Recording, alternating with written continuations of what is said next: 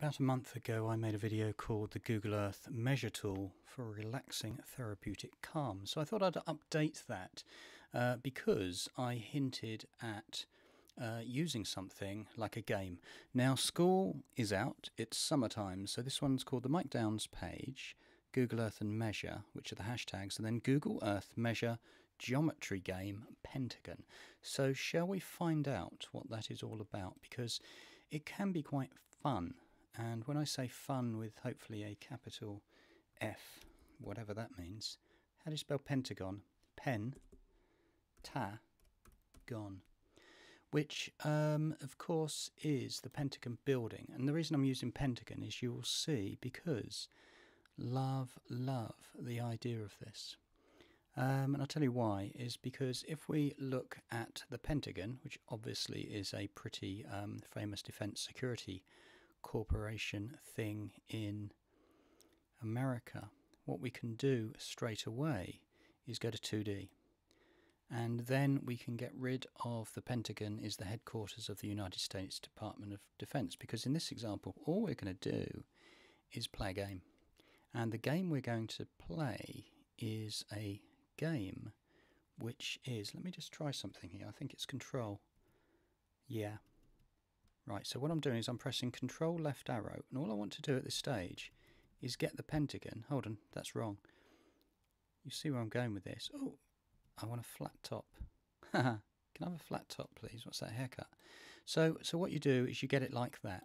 Now, first thing, number one, is can you see any geometric shapes? And the answer, of course, is yes, there's a pentagon. But if you keep looking, did you know there's a little pentagon inside the big pentagon? And if you can see where my mouse is, there's a pentagon here, and there's even smaller ones. So you've got one, two pentagons, then you've got, quite honestly, three in the inside. Then you've got four, which is the really big one, on the outside. Now I'm wondering if we can play a measurement game with this. Now I'm gonna, not going to complete the game, I'm going to start it. So what I'm going to do is I'm going to click measure distance and I'm going to click, let's see if we can do it. Let's start about there and I'm going to go up and all I want to try and do is get to a level where I can make a shape. Now you'll see that that shape is not right there. Doesn't matter at this stage. And then I'm going to bring it back. Now what I should have done, quite honestly, is I should have made that a point, shouldn't I? So to, do you know what? Let's clear it. Let's clear it. I want you to play the game, not me. So in other words, let's start at the top. One, here we go. Go from the top down. I hope you're over my sh shoulder. You're saying, look, Mike Downes, I can do it better than you. And that's what I want you to do. Because if you're sitting there thinking, oh, there we go, there it is, bang. So what you've now got is a good example of the Pentagon game, which makes a star. Is that a US Marshal star? Who knows? So what I'm going to do here is try and line it up.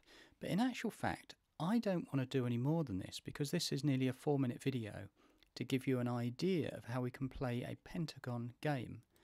What I am going to do is go back to 3D and then just see because I wondered if, quite honestly, there was anything where those points of the pentagon lined up in real life in Washington, D.C.